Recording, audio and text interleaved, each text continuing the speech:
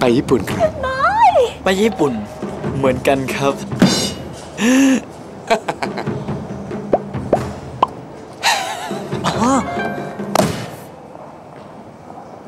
เที่ยวญี่ปุ่นให้สนุกนะคะ